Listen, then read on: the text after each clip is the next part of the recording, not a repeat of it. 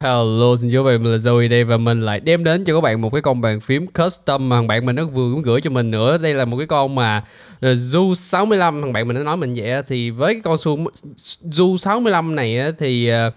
cái kit á, thằng bạn mình nói là cái kit thì nó đâu khoảng tầm 3 triệu rưỡi. Rồi cái bộ keycap này là khoảng khoảng tầm đâu xung quanh 2 triệu rưỡi. Xong rồi những cái switch rồi cái thứ thế cái thứ thì tổng cộng lại là uh, trên 600 ngàn á uh,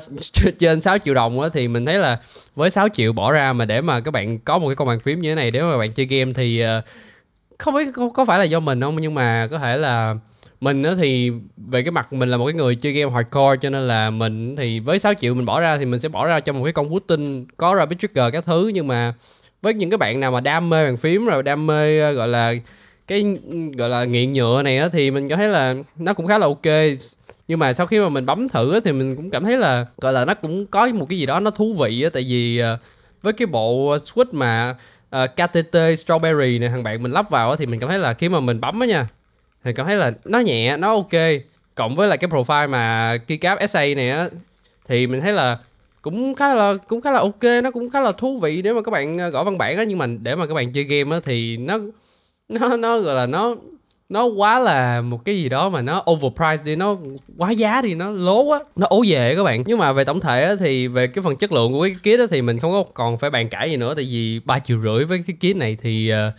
chắc chắn là không có gì để bàn cãi, nó bằng tiền một cái con chuột rồi. Và với một cái người mà review chuột thường xuyên như mình á, thì mình cảm thấy là ba triệu rưỡi với bỏ ra cho một cái con bàn phím này thì về cái chất lượng thì mình cảm thấy là, yeah, còn cái ờ, plate trong này á là hình như bạn mình nói là plate pc à cái plate pc dành cho cái ờ, cái con bàn phím này cho nên là,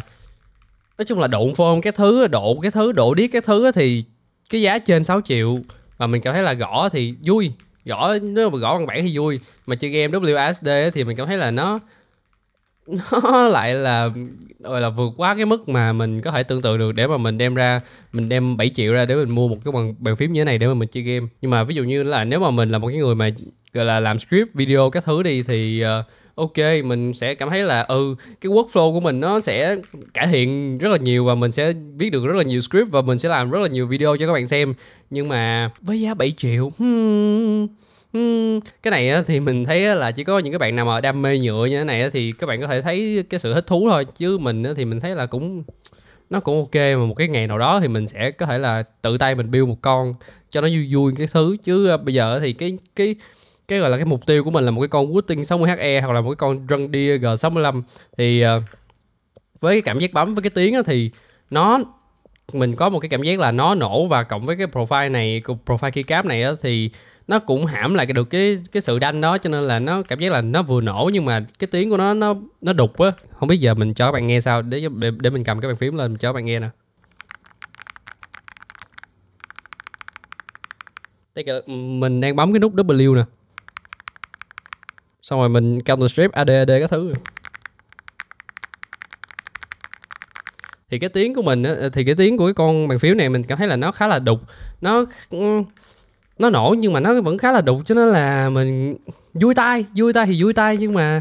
cái cảm cái cảm giác chơi game á thì ờ, mình cảm thấy là nó à, mình không biết phải giải thích làm sao cho các bạn hiểu nhưng mà mình á thì mình không có thích cái một cái cảm cảm giác chơi game 7 triệu như thế này. Còn ờ, về cái phần mà uh, cái nút space á thì vì là cái cái con switch này nó nó bị xoay các bạn nó bị lắc lư như thế này nè cho nên là khi mà mình bấm space vào cái ngay cái phần mà hai cái cạnh này nè thì nó bị cọ nó bị cọ với cái thành của cái ờ, cái con bàn phím này cho nên là cái cảm giác thì nó không có được sướng cho lắm nhưng mà ừ, nói chung là nếu các bạn mod mod mũng lại cái thứ thì nó cũng khá là ok. Để mà các bạn uh, chơi với cái con cái cái cái cái nút uh,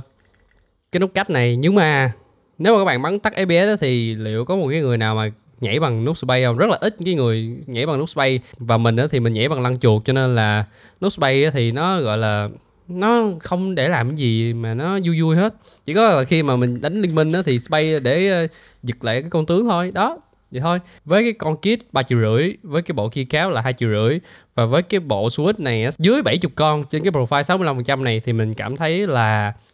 cái bộ switch này ok bóng khá là nhẹ so với lại cái con mà hồi trước mà mình từng review trên cái con mà cái gì ta? Trên cái con mà Sport 67 á thì mình cảm thấy là cái bộ switch đó nó khá là nặng. Cái bộ mà gì? Ờ à, cái bộ C3 chuối. Cái bộ so với cái so cái bộ KTT này với cái bộ C3 chuối ấy, thì mình cảm thấy là cái bộ này nó nhẹ hơn C3 chuối rất là nhiều luôn. Và mình cảm giác là để mà mình spam ờ, mình AD AD counter strike các thứ trong game á, thì mình cảm thấy là khá là ok khá là vui. Nó không có một cái vấn đề gì hết. Nói chung á là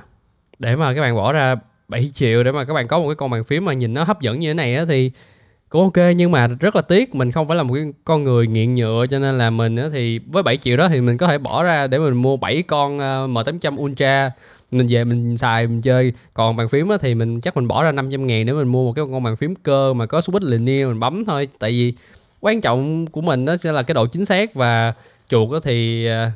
yeah, bắn tắt ABS thì nó lại là quan trọng nhất. Cho nên là chơi nói chung là đây là cái video mà mình đưa ra cái cảm nhận đầu tiên và cái review của cái con mà Zu 65 này của thằng bạn mình mới đưa cho mình. Thì cảm ơn các bạn đã xem. Nếu các bạn thấy hay like share và subscribe. Còn nếu các bạn muốn mua muốn gọi là mua hoặc là build một cái con y chang như thế này mà có cái cảm giác bấm cái, cái tiếng bấm như thế này thì các bạn có thể liên hệ thằng bạn mình. Mình có để link ở dưới phần miêu tả để các bạn liên hệ nó. Xong rồi các bạn đặt ờ, đặt cho nó build thôi. Các bạn đem về nhà các bạn chơi quá đã luôn. Thì yeah, cảm ơn các bạn đã xem. Bye bye.